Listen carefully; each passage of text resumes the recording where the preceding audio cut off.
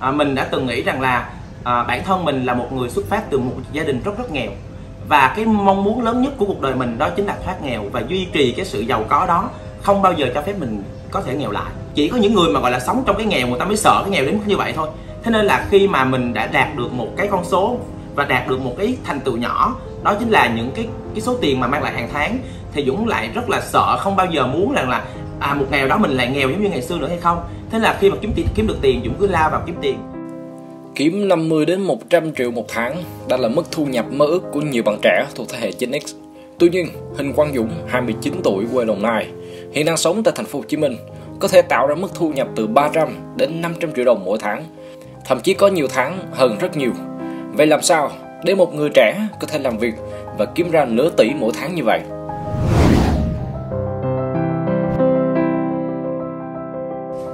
Tốt nghiệp ngành xã hội học của Đại học Khoa học Xã hội và Nhân văn Thành phố Hồ Chí Minh, Dũng mày mò và bán duyên qua ngành marketing online.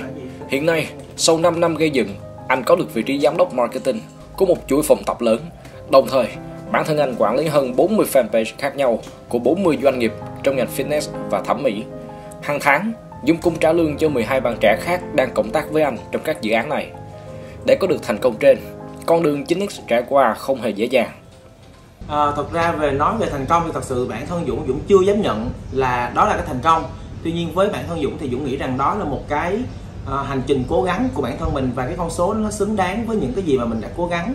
Thì nếu như những người trong nghề thì người ta sẽ à, dễ hình dung hơn rằng là cái con số đó nó còn có thể đi xa hơn nữa. Ngoài công việc làm việc tại à, công ty thì Dũng nhận rất là nhiều job làm về marketing online. Cái dịch vụ marketing online bây giờ nó đang rất là thịnh hành à, có rất là nhiều những cái công ty người ta không có cái phòng marketing. Bởi vì cái nhu cầu mà mở một phòng marketing ra thì nó rất là nhiều vấn đề nhỏ nhỏ khác nhau. Thế nên người ta cần thuê một cái dịch vụ marketing bên ngoài. Trung bình một tháng thì mà ít nhất cái chi phí mà Dũng nhận sẽ là 15 triệu và cao nhất một job của Dũng sẽ là 40 triệu. À, tùy vào cái hạng mục công việc mà bên đối tác yêu cầu. Thì team của Dũng bên Dũng hiện tại thì có 12 người.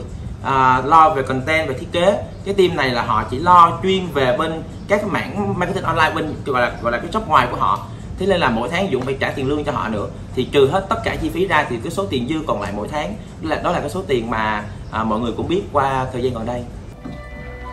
Quản lý hơn 40 fanpage và điều hành phòng marketing của một chuỗi phòng tập lớn.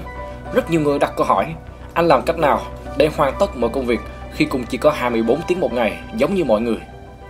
Thì nếu như là hai năm về trước thì một ngày làm việc của Dũng sẽ bắt đầu từ lúc 5 giờ sáng và kết thúc vào khoảng cỡ 2 giờ tối đó là cái khoảng khung giờ mà Dũng à, đã từng làm việc Tuy nhiên về khoảng thời gian sau này thì khoảng trở 2 năm trở lại đây thì Dũng cảm thấy là mình cần ổn định hơn về sức khỏe chính vì vậy Dũng có tuyển thêm nhiều thành viên hơn nữa để vào team thì khoảng thời gian bây giờ để làm việc khoảng từ 5 giờ 30 sáng cho đến khoảng cỡ 12 giờ là Dũng hết thời gian làm việc và Dũng dành thời gian còn lại cho sức khỏe của mình.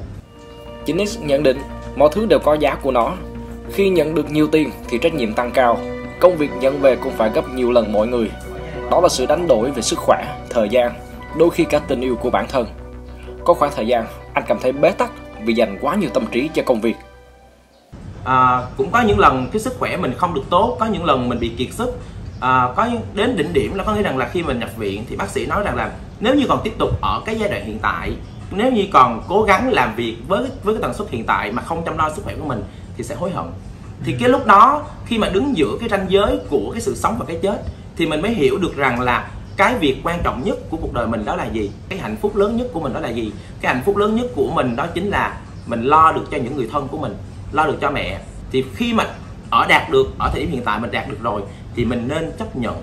Mình đừng nên đi quá xa.